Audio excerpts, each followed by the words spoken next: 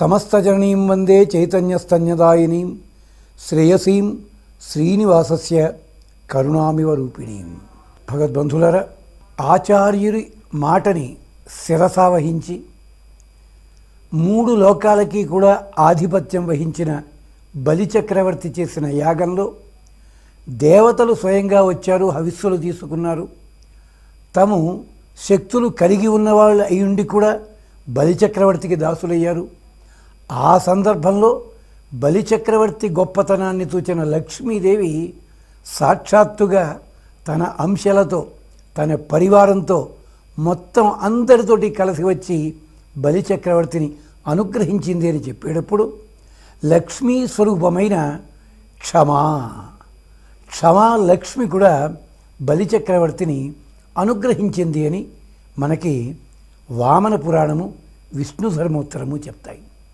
ఏమిటి క్షమ అంటే లక్ష్మీ స్వరూపము క్షమ అన్నది బలిచక్రవర్తిని అనుగ్రహించింది గనకనే బలిచక్రవర్తికి క్షమాగుణం అబ్బింది. అంటే లోకాలన్నీ జయించాడు. ఎవ్వరినీ అవమానపరచలేదు. దేవతలందరినీ వశం చేసుకున్నాడు. కానీ దేవతలంతా వాళ్ళ వాళ్ళ విధులు ఏ ఉన్నాయో ఆ విధుల్లోనే నియమించాడు. ఇంద్ర లోకాన్ని తాను ఆక్రమించాడు. ఇంద్ర పదవిని ఆశించలేదు. యజ్ఞములు చేశాడు దానములు చేశాడు ధర్మములు చేశాడు. ఇది క్షమాగుణం అంటే. క్షమాగుణం అంటే అర్థం ఏమిటి? తన పరాక్రమాన్ని తన తేజస్సుని కూడా ప్రదర్శించగలిగిన అవకాశం ఉండి కూడా తనకంటే ఒక మెట్టు దిగువలో ఉన్న వాళ్ళ మీద ప్రేమగా ఉండడమే క్షమాగుణము.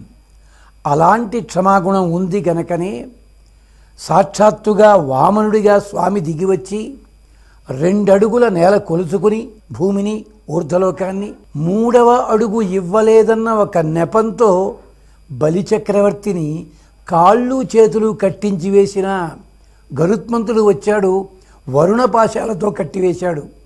క్షమాగుణం వదిలిపెట్టలేదు దూషించలేదు ద్వేషించలేదు.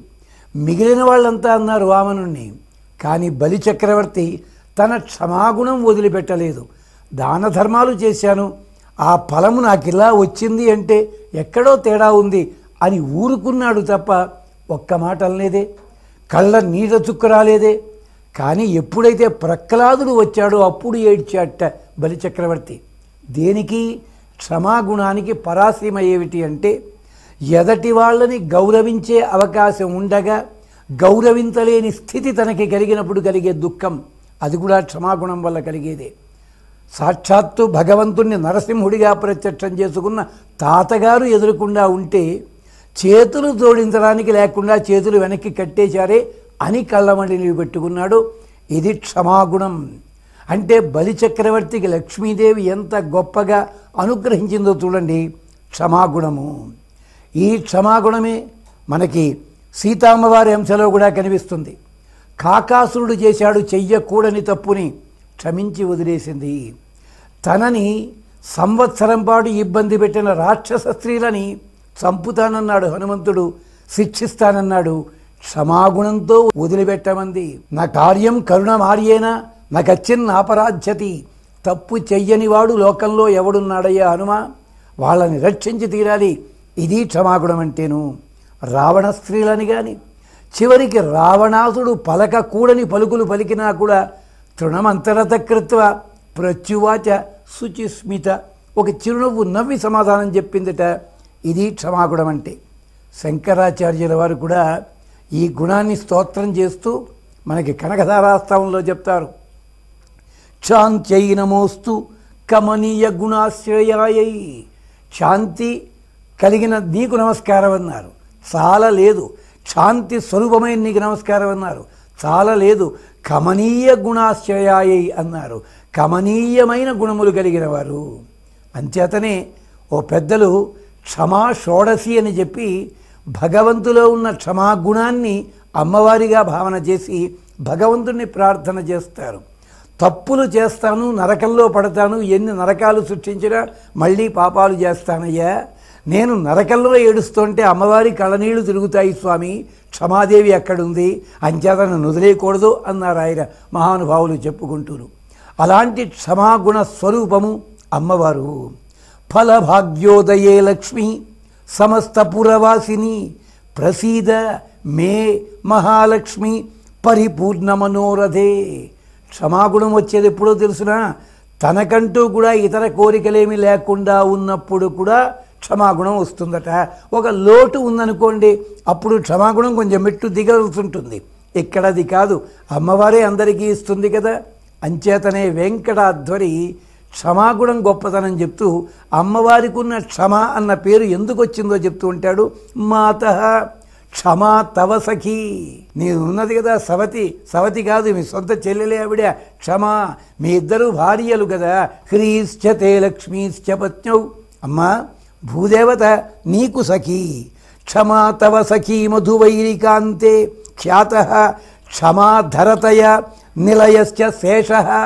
నువ్వు ఎక్కడ శయనించి ఉంటావో ఆ శేషుడు కూడా అదే గొప్పతనము. క్షమా ఓర్పు కలిగినవాడు. లేకపోతే ఈ భూమండలాన్ని సృష్టినంతా కూడా తన పడగల మీద మోస్తూనే ఉన్నాడు కదా. క్షమాగుణానికి ప్రతీక శేషుడు. క్షమ అంటే భూమండలము. భూమండలము నీకు సఖి. నీవు నీ పడకటిల్లు ఏదుందో అది కూడా క్షమకి గుర్తు కదా. త్వంతు క్షమానిధి. మరి నిన్ను తూచినట్టయితే ఓర్పు అన్నది నిధిగా ఎక్కడుంటుంది అంటే లక్ష్మీదేవిలోనే. ఎంచేత సీతాదేవిలో రుక్మిణిలో సత్యభామలో ఎక్కడ చూచినా క్షమాగుణమే కనిపిస్తోంది. క్షమ త్వంతు క్షమానిధి. అత శతమాగసామ్యే క్షంతు తవోచితం ఇక్కడుంది కొసమెరుపు. నీవు క్షమాగుణం కలిగిన దానివి గనక చిన్న చిన్న తప్పులు చేస్తే ఎవళ్ళైనా వదిలిపెడతారు నేనేం చేశానో తెలుసునా? బ్రహ్మాండమైన తప్పులు చేశాను.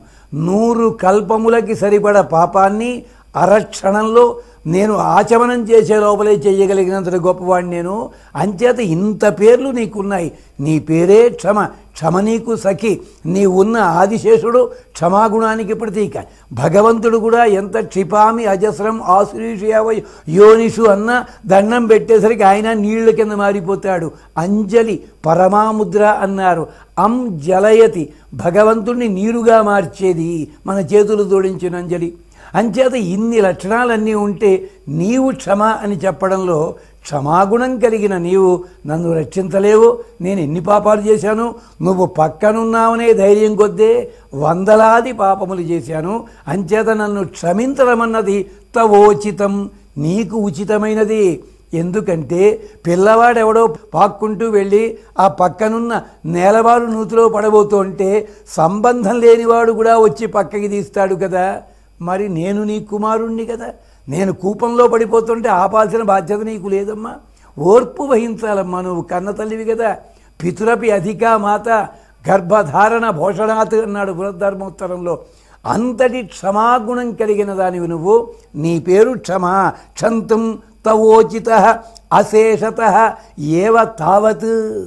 ఇంకా నేను పాపాలు చేస్తూనే ఉన్నప్పటికి కూడా నీవు నన్ను క్షమించాలి. అంటంలో వెంకటాధ్వరి ఎంత చమత్కారం చూపించాడో అదే పద్ధతి లోపల వేదాంత దేశికుల వారు కూడా అమ్మవారు క్షమాగుణం కలిగిన అమ్మవారు అక్కడ ఉంటారట.